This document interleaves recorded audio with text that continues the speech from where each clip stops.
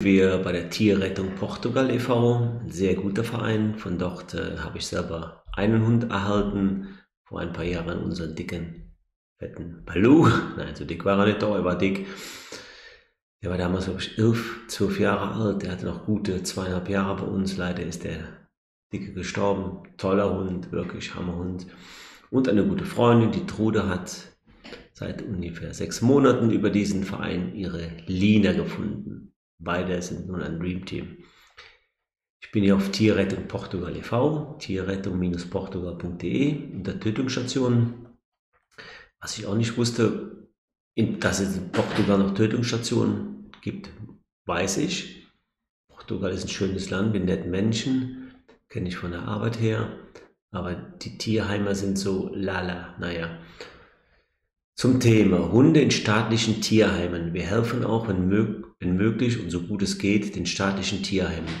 Denn auch diese sind immer überfüllt, leider, auch in den warmen Ländern. Und das heißt, und was das heißt, kann man sich denken. Bei Interesse kontaktieren, kontaktiere uns unter Angabe der Bild zu, zu sehen, Identifikationsnummern oder Name.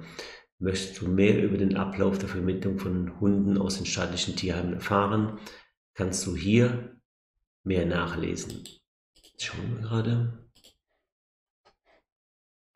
Vermittlungsablauf. Das verlinke ich. Das lese ich nicht alles vor. Es geht mir eher um die Hunde. Festland Portugal. Diese Hunde befinden sich in einem staatlichen Tierheim auf dem Festland Portugals. Die Hunde dort werden nicht gesehen. Keine Vereine oder Organisationen helfen dort. Schade.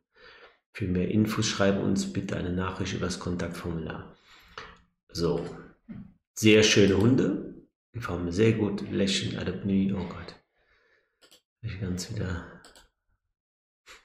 Auch kleine Maus. Ja, tun mir die Hunde leid. Niemand sieht sie. Ältere Grauschnauze. Dass der Portugal Tierschutz Verein sich darum kümmert, Tierrettung Portugal, dass die Hunde gesehen werden. Ach nö, der war knuffig. Ach nö, der war knuffig. Okay. Ricky, Rafa, Felicia, Prinzessa, also ich nehme Prinzessin, Iva und Cephas warten, suchen ein gutes Zuhause in Deutschland und wie es aussieht, freundliche, liebe, süße, tolle Hunde, die leider nicht gesehen werden.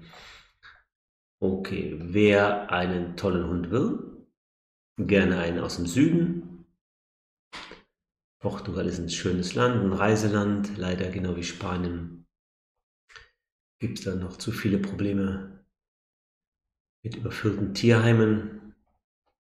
Und äh, genau, Schauen wir gerade weiter runter aus der Ehemann-Tötung Azoren Ponta Delgada.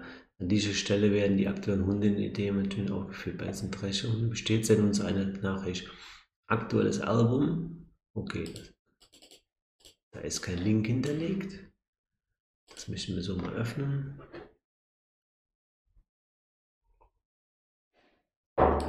Das geht jetzt nicht.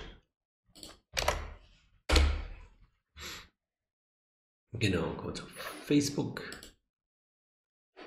Bin ich da nicht angemeldet? Ach ne, genau.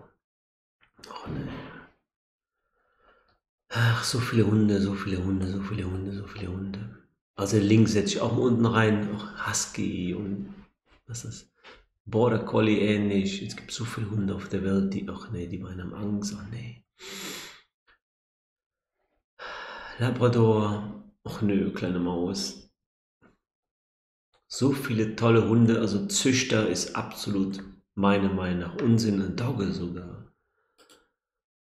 Ah, sieht Dogge ähnlich aus. Oh mein Gott. Ey. Okay, ich verlinke das auch unten in der Beschreibung.